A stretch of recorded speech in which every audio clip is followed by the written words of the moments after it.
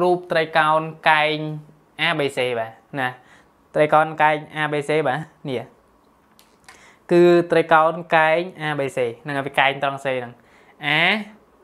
B C ហ្នឹងហើយមានកម្ពស់ CD បាទនេះមើលរូប CD បាទកម្ពស់ CD ហើយគេឲ្យ AC នេះបាទប្រវែង AC គឺ15សង់ទីម៉ែត្រនេះ AC 15សង់ទីម៉ែត្រនិង AB ស្មើនឹង25សង់ទីម៉ែត្រ បាទ AB នេះ25សង់ទីម៉ែត្រហ្នឹងហើយហើយប្រធានលំហាត់គេឲ្យរកក្រឡាផ្ទៃនៃត្រីកោណ BCD ហ្នឹងហើយបាទ BCD នេះក្រឡាផ្ទៃត្រីកោណនេះហ្នឹងហើយអូខេអញ្ចឹងក្រឡាត្រីកោណ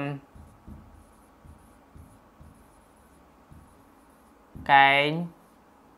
B C D បាទហ្នឹងហើយរូបមុនត្រីកោណកែង B C D គឺ S B C D បាទ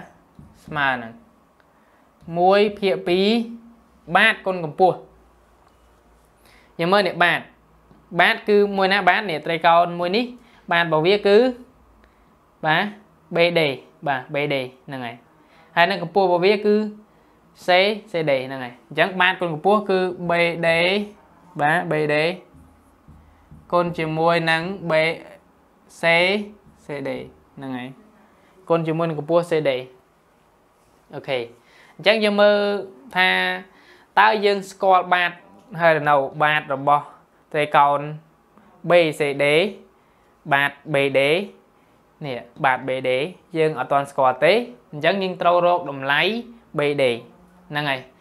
ហើយកម្ពស់ CD ក៏យើងមិនទាន់ស្គាល់តម្លៃរបស់វាដែរណាអូខេឥឡូវយើងត្រូវរកតម្លៃទាំងពីរហ្នឹងអញ្ចឹងតើយើងរកតាមវិធីណាដំណងទៅ គឺយើងសរសេរថាតាមបាទតាមទ្រឹស្ដីបត់2តាកើបាទនៃត្រីកោណបាទឥឡូវគឺត្រីកោណ បាទត្រីកោណ A B C បាទតាមស្ដីបត់2តកត្រីកោណ A B C ហ្នឹងហើយកែងបាទត្រីកោណ A B C កែងត្រង់ C បាទហ្នឹងហើយអញ្ចឹងទ្រឹស្ដីបត់2តកគឺបាទជ្រុង A B ការ៉េបាទ A B ការ៉េស្មើនឹង A C ការ៉េបូកជាមួយនឹង B C ការ៉េបាទ A C ការ៉េបូកជាមួយនឹង B C ការ៉េបាទហ្នឹងហើយអញ្ចឹងយើងមើលជ្រុងណាខ្លះដែលគេឲ្យតម្លៃរួចហើយហើយនឹងជ្រុងណាដែលគេមិនទាន់ឲ្យតម្លៃអញ្ចឹងជ្រុងដែលអត់ទាន់ឲ្យតម្លៃយើងទាញរកវាមកនេះជ្រុង BC នេះគឺអត់ទាន់ឲ្យតម្លៃទេណា អញ្ចឹងនេះតម្លៃដែលគេឲ្យគឺមាន AB ហើយនិង AC បាទអញ្ចឹងខ្ញុំទាញរកបាទ BC ដែលជាជ្រុងដែលគេអត់ទាន់ឲ្យតម្លៃ BC ហ្នឹងហើយអញ្ចឹង BC ខ្ញុំសេមួយអង្គទី1ទៅហើយយើងយកអានេះបោះមកនេះទៅប៉ុន្តែខ្ញុំសេអង្គទី2តែម្ដង A B ការ៉េដកឲ្យ A C ការ៉េបាទហ្នឹងហើយអូខេអញ្ចឹង យើងចាប់ដើមចំនួនតម្លៃដែលគេឲ្យចូលតែម្ដងជ្រុង AB នេះជ្រុង AB នេះគេឲ្យតម្លៃស្មើនឹង25បាទ25សង់ទីម៉ែត្រអញ្ចឹងយើងសរសេរតាម25ណាបាទដកជាមួយនឹង AC គេឲ្យតម្លៃស្មើនឹង15សង់ទីម៉ែត្រដកនឹង15បាទលើកជាការ៉េហ្នឹងហើយ អញ្ចឹងយើងធ្វើការកណនាតម្លៃនេះមកបាទអញ្ចឹងខ្ញុំធ្វើការកណនាតម្លៃតាមរូបមន្ត A ដក A ក្រេដក B ក្រេហ្នឹងហើយនេះគឺ A ក្រេដក B ក្រេស្មើនឹង A ដក B កតា A បូក B ហ្នឹងហើយអញ្ចឹងយើងមើលអានេះវាដើរតួជា A ការ៉េហើយនឹងអានេះវាដើរតួជា B ការ៉េ អញ្ចឹងខ្ញុំអាចសេបានដល់25បាទដក15កតាឲ្យ25បូកឲ្យ15ហ្នឹងហើយខ្ញុំសរសេរបែបនេះទៅធ្វើឲ្យយើងងាយស្រួលក្នុងការមើលហើយនឹងកណនាពីព្រោះកាលណាបើយើងបំបែកអានេះគឺយើងត្រូវការពេលវេលា បាទអានេះធ្វើតាមនេះលឿនបាទអញ្ចឹងអានេះ25ដោយ 15នៅសល់10បាទអានេះ25បូកឲ្យ15 40បាទហ្នឹងហើយអញ្ចឹងវាបានទៅជា4 400ហ្នឹងហើយអញ្ចឹង BC យើងអាចសេ BC ស្មើនឹងរឹស4 400ឬ400ចេញមកបាន20បាទអញ្ចឹង BC នេះ ស្មើនឹង20សង់ទីម៉ែត្រហ្នឹងហើយអញ្ចឹងឃើញនេះជ្រុង BC តម្លៃរបស់វាគឺ20សង់ទីម៉ែត្រហ្នឹងហើយយើងរកឃើញណា20សង់ទីម៉ែត្រហ្នឹងហើយអូខេឥឡូវយើងស្គាល់ជ្រុង BC ហើយតើយើងអាចស្គាល់ជ្រុងបាទជ្រុង C CD ទេទេអាចស្គាល់ជ្រុង CD ឬក៏ជ្រុង BD ទៀតដែរទេអញ្ចឹងយើងរកតាមវិធីណាទៀតបាទរកតាមវិធីណាទៀតអញ្ចឹងយើងបើធ្វើតាម 2dagger គឺយើងអត់អាចរកជ្រុង CD តទៅទៀតឃើញទេដោយសារតែយើងអត់ទាន់ស្គាល់ជ្រុង BD ទេអញ្ចឹងបើយើងស្គាល់ជ្រុង BD ឬក៏យើងស្គាល់ជ្រុង CD យើងអាចធ្វើតាម 2dagger ទៀតបាទអញ្ចឹងយើង ធ្វើតាមទ្រឹស្ដីបាទបាទគឺរូបមន្តមៀតនៃត្រីកោណកែងបាទបាទរូបមន្ត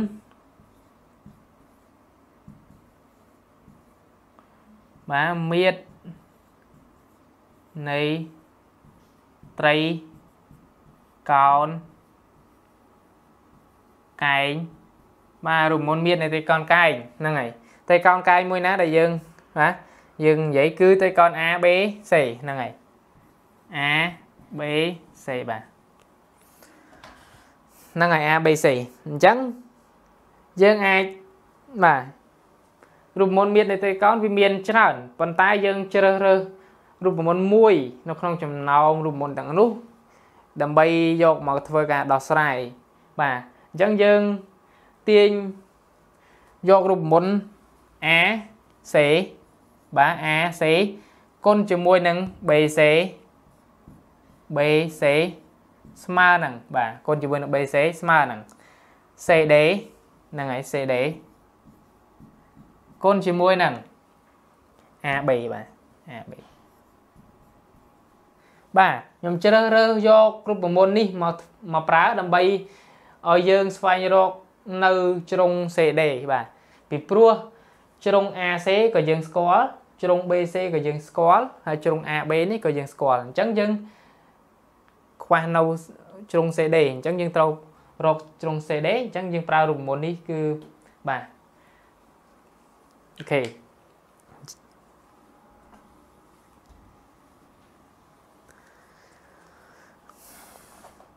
យើងមើលទៀតឥឡូវយើងទាញរកជ្រុង CD មក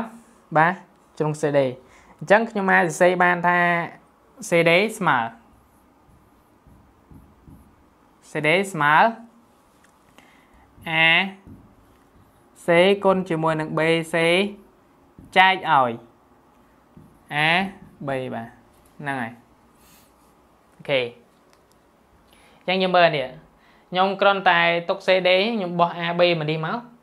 កន្លែងនេះគុណបោះមកចែកតែម្ដងបាទហ្នឹងហើយ ចែកអូខេប៉ុន្តែគ្រាន់តែខ្ញុំសរសេរជ្រុង CD នៅអង្គទី1ទៅដើម្បីឲ្យយើងងាយស្រួលមើលហ្នឹងហើយឥឡូវខ្ញុំចាប់ដើមចំនួនតម្លៃនៃជ្រុងនីមួយៗចូល AC នេះវាស្មើនឹងបាទ AC ស្មើនឹង15បាទសង់ទីម៉ែត្រគុណជាមួយនឹង BC នេះតម្លៃរបស់ BC គឺ ស្មើនឹង20បាទហើយនឹង AB នេះគឺ25បាទហ្នឹងហើយអញ្ចឹង CD យើងកណនាមក15គុណ20នេះគឺបាទវា300បាទ300 300ចែកឲ្យ25មកឬក៏យើងអាចស្រួលទៅ គឺបាទខ្ញុំដាក់យកតែម្ដងគឺចម្លើយវា12បាទហ្នឹងហើយ CD ស្មើនឹង12 សង់ទីម៉ែត្រអូខេអញ្ចឹងយើងរកជ្រុង CD ឃើញហើយជ្រុង CD គឺស្មើនឹង12អញ្ចឹងហ្នឹងហើយគោលដៅរបស់យើងគឺរកជ្រុង CD ហើយនឹង BD អញ្ចឹងយើងនៅខ្វះជ្រុង BD មួយទៀតជ្រុង BD មួយទៀតអញ្ចឹងយើងរកតាមទ្រឹស្ដីបត់ Pythagore បាន សម្រាប់ត្រីកោណ B C D ហ្នឹងហើយ ត្រីកោណ B C D នេះយើងស្គាល់អានេះនេះមិញហ្នឹង12កម្ពស់វា12ហ្នឹងហើយកម្ពស់12សង់ទីម៉ែត្រអញ្ចឹងបាទអានេះគឺអ៊ីប៉ូទៅនេះវាគឺ20សង់ទីម៉ែត្របាទយើងមើលនេះនឹងនៅខ្វះជ្រុង BD មួយទៀតអញ្ចឹងយើងអាចរកតាមសេចក្តីបទ Pythagore សម្រាប់ត្រីកោណ B CD កែងត្រង់ D ហ្នឹងហើយតាមទ្រឹស្ដីបត់ពីតាកបាទនៃត្រីកោណត្រីកោណ B C D